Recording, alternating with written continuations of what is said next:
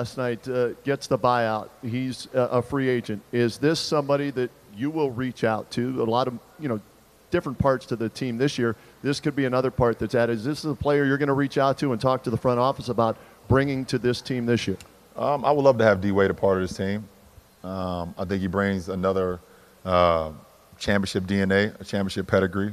Um, it brings another playmaker to the team uh, who, uh, you know, can get guys involved and can make plays and and also just has a, a great, you know, basketball mind. And um, you know, I think, you know, it would be great to have him here. And uh, you know, obviously, you know, our, our, front office has done some great things, you know, throughout this summer. And um, you know, so I'm not. I don't. I mean, obviously, I've probably I've talked to D Wade throughout the whole summer, and um, and I probably will reach out to him as well. But it's not uh it's really not up to it's not up to me. It's kind of up to D Wade if he can clear waivers. Then it's up to our front office. Um, but I hope that we can um, I hope that we can bring him here. I would love to have him.